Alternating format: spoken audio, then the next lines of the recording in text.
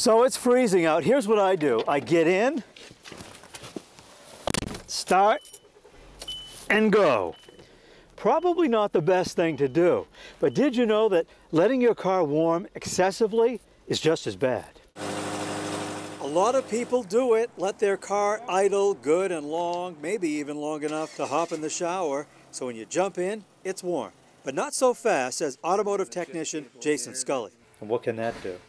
It can introduce unspent fuel into uh, the oil. It turns out it's not good to let your car warm too much or not enough.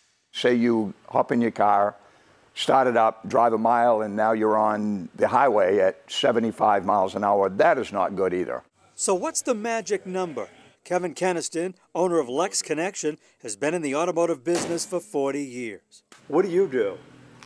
My vehicle, I usually, because I, I only drive probably four miles to work. So my vehicle, I usually warm up five, seven minutes um, before I head out. Yeah, I got a car starter for Christmas.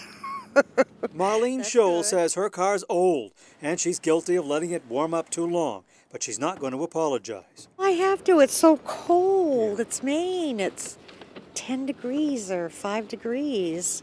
so you have to warm it up. I have to warm it up. I just have to. I have no choice. So, where did this myth come from that it's a good idea to warm your car? Well, before fuel injection, engines had carburetors, and if you didn't warm them, they'd stall.